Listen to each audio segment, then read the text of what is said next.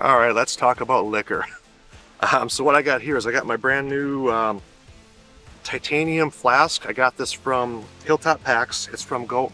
It's from Go Fire Gear, but it's available through um, Hilltop Packs. So it's your typical flask. Uh, it's a 200 milliliter or 6.7 ounces. Empty, this thing is going to weigh about three ounces. It's priced at $44, but for an extra 15, you can have something personalized on there. And um, just want to say too, if you're interested in this or any other Hilltop Packs gear, down below is going to be a link for you as well as a code to use for an extra 10% off, so make sure you check that out. So what I really like about this is no longer do I have to carry a full-size bottle of my favorite sports drink.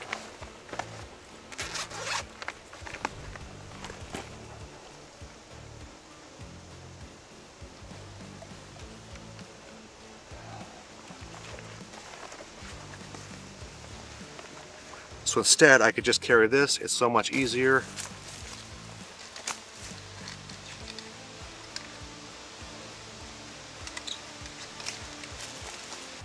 So there you go. Make sure you get one of these for yourself. Put your favorite sports drink in it. You're going to love it. Link down below. Don't forget to use that code for uh, an extra 10% off.